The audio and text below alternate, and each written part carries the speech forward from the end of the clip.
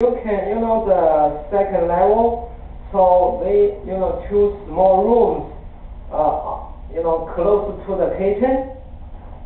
So you can use them.